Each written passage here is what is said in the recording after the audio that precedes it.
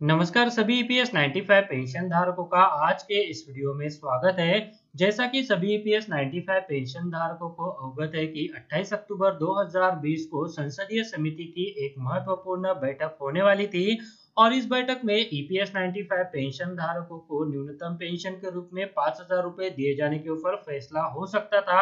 ऐसा अपडेट जो है वो निकल कर आया था। ऐसे में यहाँ पर सभी ईपीएस 95 पेंशन धारकों की निगाहें संसदीय समिति की इस बैठक की ओर लगी हुई थी।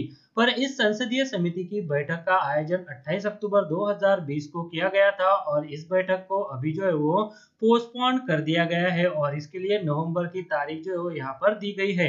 तो इसी के संदर्भ में ये जो अपडेट है तो उसके बारे में अभी मैं आपको इस वीडियो में पूरी जानकारी देने वाला हूँ। तो आप इस वीडियो के साथ अंत तक बने रहिए वीडियो को बिल्कुल भी स्किप ना कीजिए, ताकि ये जो संसदीय समिति की बैठक को पोस्टपोन करके नवंबर महीने के लिए शेड्यूल किया गया है और ईपीएस 95 पेंशन धारकों की पेंशन के बढ़ोतरी के संदर्भ में इस बैठक में जो फैसला हो सकता है तो इसके बारे में जो आपको पूरी जानकारी मिल सके। और इसी तरह के अपडेट जानने के लिए अगर आपने चैनल को अभी तक सब्सक्राइब नहीं किया है तो वीडियो के नीचे जो रेड कलर का बटन है तो उसे प्रेस करके आप चैनल को सब्सक्राइब करके रख लीजिए और उसके बाद जो बेल का बटन आएगा, उसे भी आप प्रेस कर दीजिएगा, ताकि जो आने वाले अपडेट है तो उसका नोटिफिकेशन आपको सबसे पहले मिल सके। तो यह सभी ईपीएस 95 पेंशन धारकों की निगाहें 28 अक्टूबर 2020 को होने वाली संसदीय समिति की बैठक पर लगी हुई थी, क्योंकि इस बैठक में ईपीएस 95 पेंशन धारकों को जो न्यूनतम पेंशन एक हज़ार रुपए अभी मौजूदा समय में मिल रही है तो उसे जो है वो बढ़ाकर पाँच हज़ार रूपए किए जाने के ऊपर फैसला हो सकता था। पर इस बैठक का आयोजन जो 28 अक्टूबर 2020 को किया गया था तो इस बैठक को अभी जो है वो नवंबर महीने तक के लिए आगे कर दिया गया है।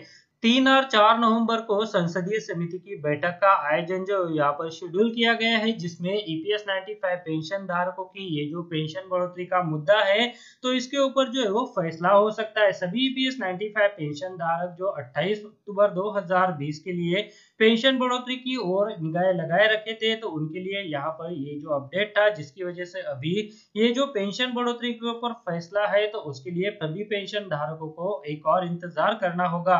तो जी हाँ, यह जो बैठक का आयोजन अभी किए जाने वाला है तो वो है तीन और चार नवंबर 2020 को।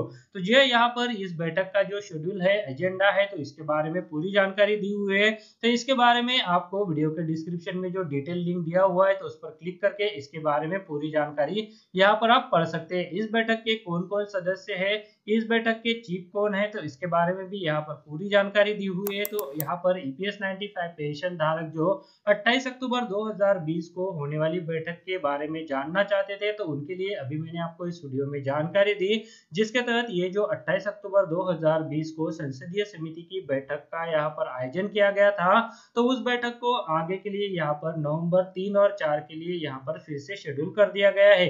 तो ये ईपीएस 95 पेंशन धारकों के लिए ये जो जानकारी थी तो उसी जानकारी को अभी मैंने आपको इस वीडियो में दी।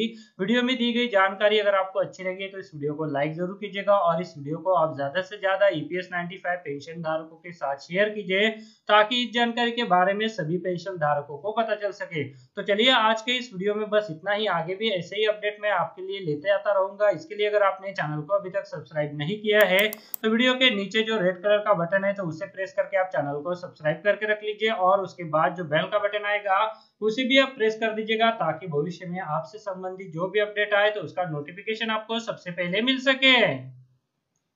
अगर आप शेयर मार्केट में इन्वेस्ट करना चाहते हैं तो इसके लिए आपको एक ट्रेडिंग अकाउंट की ज़रूरत पड़ती है।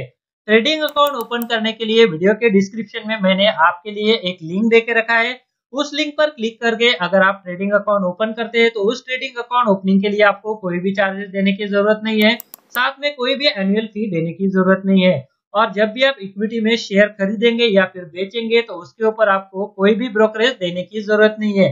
अगर मान लीजिए आपने सौ रुपए का कोई शेयर खरीदा और उसे डेढ़ सौ रुपए में बेच दिया तो जो पचास रुपए का फ़ायदा होगा तो वो सीधे आपकी जेब में जाएगा। इसके ऊपर जो है, वो आपको कोई भी ब्रोकरेज चार्जेस देने की ज़रूरत नहीं है। कोई भी यहाँ पर आपको चार्जेस नहीं है। तो इसके लिए अगर आप अकाउंट ओपन करना चाहते हैं तो वीडियो के डिस्क्रिप्शन में मैंने एक लिंक दिया हुआ है। तो उस लिंक पर क्लिक करके आप घर बैठे ऑनलाइन एक डीमैट अकाउंट ओपन कर सकते हैं। तो चलिए अभी वीडियो में आगे बढ़ते हैं।